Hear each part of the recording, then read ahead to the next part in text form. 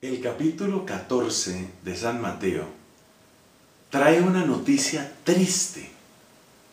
Es el final de la vida de Juan, llamado Juan el Bautista, por ese ministerio que fue como lo más típico suyo, esa predicación que él hizo a orillas del río Jordán, llamando a la gente para que se bautizara.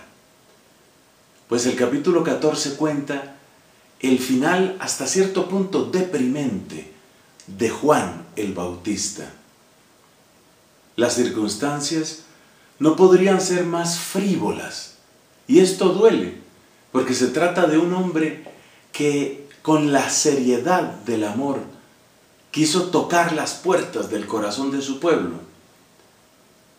En la vida de Juan, la austeridad, la coherencia, el brillo de una vida sin tacha están a cada paso. Y por eso su palabra, penetrante, quemante, cortante, no podía ser detenida. Bien sabemos que cuando una, palabra, una persona habla mucho, pero su vida no corresponde con sus palabras, pues bien pronto resulta desautorizado, ridiculizado y es fácil hacer caso omiso de él.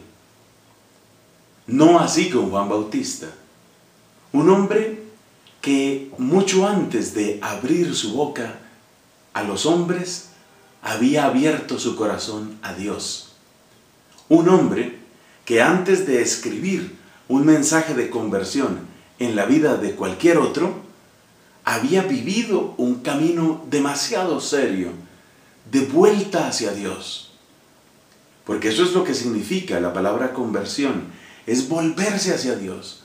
Pues Juan había vivido de cara a Dios, con una generosidad sin límites y con una proclamación impresionante del señorío de Dios.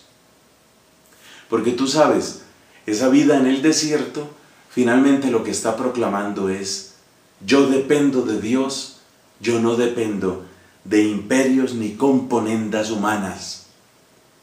Y efectivamente, trataron de silenciarlo de muchas formas, pero Juan practicó lo que predicó.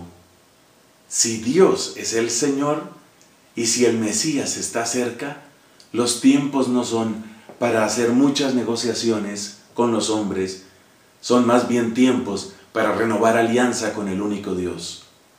Y por eso se volvió fastidioso. Pero yo creo que aquí hay una enseñanza que debemos tomar del personaje que lo mandó matar. Se trataba de un Herodes. Este Herodes era hijo del otro Herodes, el que en tiempos del nacimiento de Cristo mandó asesinar a los niños en Belén, lo que recordamos en la fiesta de los santos inocentes. El de la fiesta, el de la masacre de esos niños se llamaba Herodes el Grande y este otro Herodes era hijo de ese primer Herodes.